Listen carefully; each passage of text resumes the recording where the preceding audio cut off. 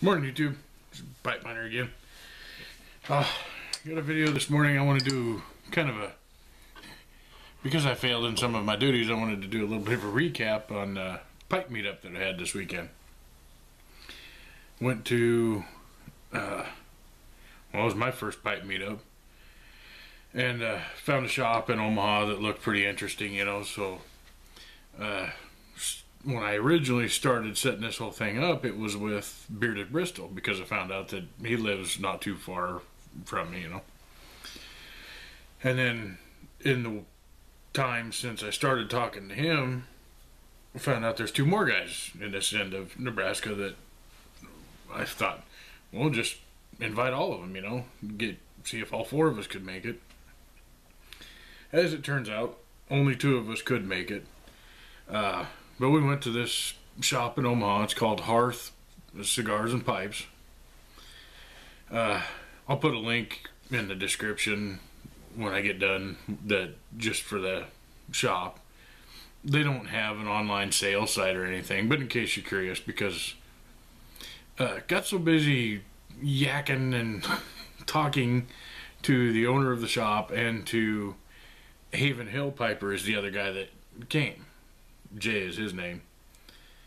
But uh, we, you know, between the two of us talking and then talking to the owner of the shop, we stood there for two hours, just talking and uh, looking around at the shop, you know, and and just comparing tobacco and stuff, you know. Never even uh, past, you know, initially when I first got there, because I was the first one there. I thought, man, I need to get my phone out and do a video tour, you know, that kind of stuff. And that's as far as I ever got. So when we go back the next time, I will take a video of the shop because it's, to me, it's a really cool shop. Now, the ones that I live close to, you know, and there's a city ordinance in town where the, the, my normal shops are that prevents places from having a smoking lounge. Even though he's a tobacconist, there are oh, what are there? Two, two, well, three, because there's one that's just cigars. Three, you know, just either pipe and cigar or cigar only shops in town. That's all they sell. And uh, the city ordinance prevents them from having a smoking lounge. Because that's just the way they roll. There's a cigar lounge downtown that is a bar, you know, type cigar lounge. You smoke in there, no problem at all. So for me, I watch YouTube videos. I see people all over the place in tobacconists that have smoking lounges, and I'm just saying, wow, that looks like it'd be fun, you know. so I get to Omaha, and uh, that's where I found out it was a city ordinance, not a state thing, because this shop has a smoking lounge. They have an upstairs lounge that's mostly, you know, couches, seats, or chairs, TVs, that kind of stuff up there. And then they have a lower level that has a couple of pool tables, and he's in the process of swapping out some of the other furnishings down there. He thinks uh, he said he was thinking he was going to add another pool table because they're really popular. So, uh, you know, we, we, to me, that made it that much better already. Even if everything else was the same, that was that just that much better because you can actually go in there and smoke. I know, seems strange. But uh, Jay showed up, and I had taken him. I had taken some tampers, you know, and I was I was I gave one to Jay, and he kind of beat me to the punch. He did a video on his way home from the meetup and here I am, you know, four or five days later, whatever, finally doing mine. But uh, he came in and we started talking, you know, and and both of us, small towns, just you know, comparing backgrounds and all this stuff. And we started looking at tobaccos, and the owner of the shop was working on a Saturday, which it's a small shop, so you know that's probably not too uncommon. But he came over, and, and really, aside from going and helping a couple other customers. You know, they come in, they'd go get a cigar or whatever, and he'd ring them up. He stood there the whole time talking to us, and he took us downstairs and showed us around down there, and we came back upstairs, and he he stood there the whole time talking to us and giving us history lessons on some of the cigar stuff, you know, and and talking to us about different tobaccos and things that he likes and things that he, he carries that nobody else does and the pipes that he's got and uh, just I mean really for me the Anthony the guy that owns this shop uh, kind of created a super fan with me. I mean you, you know you hear that a lot when you talk about the way Dagners do their pipes and they send out all the swag and OMS when he sells his pipes you know, he sends out stickers and all that stuff. You know, this was kind of the same thing because he stood there and talked to us like he had known us forever. No, I get that in my shop, in my local shop, because I, am in there all the time. So it, it just becomes, it feels more normal. But this was the first time I'd ever been in that shop. He could have looked at me and ignored me. You know, wouldn't have been unheard of. But Instead, he stood there and just chatted right with us. So, in the uh, process of going through all the blends and getting through some of his recommendations, now he does not carry any bulks.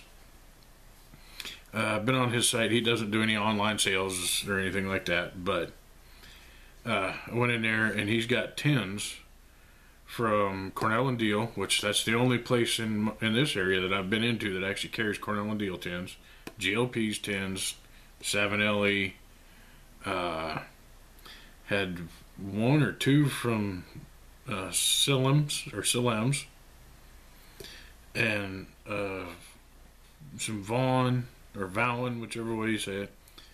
Uh, had three tins of one of the Samuel Gawith varieties, but I know everybody's kind of out of that right now. Uh, but just a you know really nice selection of tins. He had uh, a nice selection of pipes. Had some Savinelli. Had some. Uh, I, I, can't say it's a Danish maker, uh, Hilson or I don't remember. But I mean, just overall cool shop. And then get, getting to meet somebody else, you know, from YTPC that is this close. I mean, it, we're we're well, we're about an hour apart. So, but anyway, I ended up picking up a tin of GLP's Haddo's Delight. It's uh, I've only smoked one bowl of it. Didn't you know? Didn't really blow my socks off or anything but uh, it, it's good.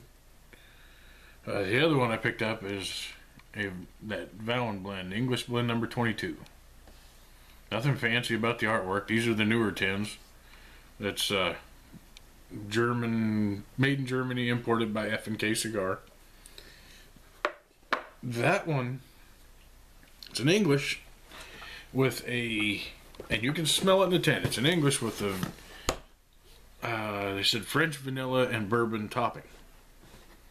So it's kind of a crossover English, uh, Anglomatic, whatever you want to call it. It's uh, but it's really good. Uh, to to let you know, three days is all it took for me to go from having the 110 to there's another one. Um, there's a couple more and a couple more.